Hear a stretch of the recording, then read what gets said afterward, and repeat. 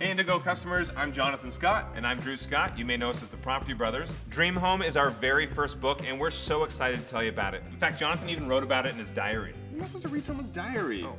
In Dream Home, we show you the basics of buying and selling, as well as best tips and tricks for renovating a house into a dream home.